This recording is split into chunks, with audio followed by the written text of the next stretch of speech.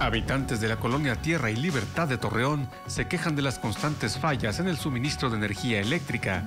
Denuncian que desde el pasado martes 28 a las 2 de la tarde se quedaron sin el servicio de la Comisión Federal de Electricidad. El problema que los aqueja desde hace años afecta específicamente a la calle Coyoacán, entre la calzada Quetzalcoatl y calzada Cuitláhuac. Afirman que con las altas temperaturas, toda la comida en el refrigerador se les echó a perder Aunado a esto, tampoco tienen el servicio de agua en las tuberías, así que no pueden mitigar el calor con duchas y los que más sufren son los infantes.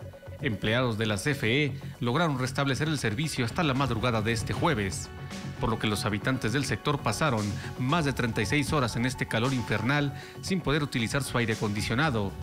Piden a la Comisión Federal de Electricidad solución de fondo al problema que ocurre cada verano. Yo tengo mis niños, dos nietos, y de allá en la privadita viven otros dos nietos, y ay, pobrecitos, a llorar y llore, y el calor, y hacerles aire, y, todo, pero no, hemos batallado mucho con la luz. Por ejemplo, ¿ustedes si, tienen, si no tienen luz y hay agua? No, tampoco. Se nos va el agua. ¿Y luego?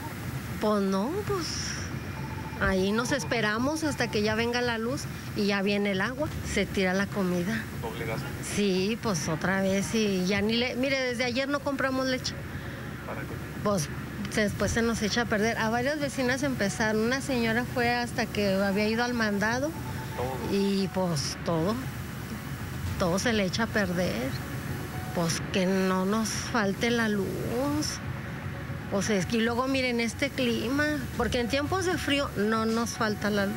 Nada más. en- No más en este tiempo que no, y cuando empiezan los calores, híjole, poquito peor.